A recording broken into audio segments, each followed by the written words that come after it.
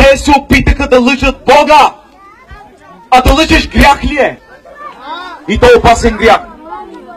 И те влязоха в присъствието на Господа. И знаете ли какво се случи с тях? Те умряха. Те паднаха и умряха. Затова, братко и сестро, искам да ти казвам нещо тази вечер. Няма да говоря много думи, защото многото говорене е излишно. Ще ти кажа нещо.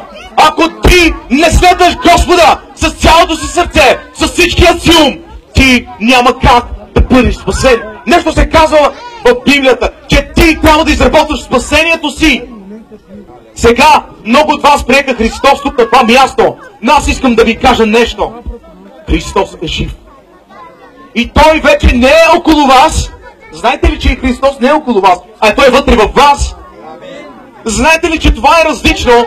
Христос да бъде около тебе и друго е Христос да бъде вътре в теб. Знаете ли това? Знаете ли, че вие отворихте, както е писано в Откровение 3.20 и Господ чука на вратата. Господ чука. И този, който отвори, казва, ще влязам, ще вечерям с него. И той с мене. Нека ръкопляскаме на Господа. Алелуя! Вижте, вижте, брати и сестри. Кога Моисей се приближи до Господа, знаете ли? Когато събул сандалите. Често пъти ние искаме да се приближаваме до Господа, но грехът пречи. Брати и сестри, нека обърнем вниманието си назам. Става въпрос и за помазаниците. Става въпрос за пасторите. Не става въпрос само за тези хора. Братя, не става въпрос само за тези хора. Искам да ви кажа нещо тази вечер много важно. Знаете ли, това, което усилва ада, това, което е в ада като знаете ли какво е това, което съдържа в ада, като бензин на ада? Това е човешкият грях. Човешкият грях усилва огънят в ада. И когато ти се грешаваш, ти помагаш на дявола да наделява над Божията църква.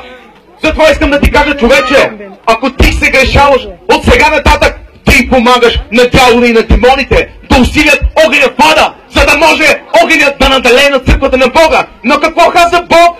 Исус на Петър. Какво каза Исус? Че дори портите на ада няма да стояват. Искам да ти кажа нещо. Реформацията е важно нещо. Пълната промяна в твоя живот ще дойде тогава, когато ти срещнеш Исус. Един много добър човек. Един много добър апостол Павел. Той ги гонеше, той ги бързваше. И знаете ли какво се случва там? Господ го среща. Тази вечер Господ среща теб. И Господ промени вижданията на Савел. Не само вижданията, знаете ли? Господ промени очите му. Господ промени действията му. Господ промени мисленето му. Тази вечер ти искаш Господ да промени твоето мислене?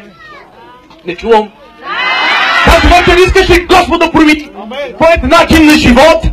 А, тази вечер искаш ли ти благословение от Господа? Затова тази вечер ще помоля всички свети. Насам, братя, заповядайте насам. Не. Нека да дойдат пасторите насам. Вижте, тези мъже днеска са тук, за да ви благословят. Тези мъже са само по една причина тук, че те ви обичат. Те го правят кои за Господа. Той иска да сам да дойде да се молим за Него. Има ли такива души, които искат да дойдат да се молим за тях? Заповядайте. Айде четвърта линия, Исус ви чака! Първия! Без да се притеснявате, без да се страхувате! Нека да, да погледнем тези души. Вие готови ли сте да приемете Христос? Алелуя. Алелуя. Готови ли сте да промените Благодаря. своя живот?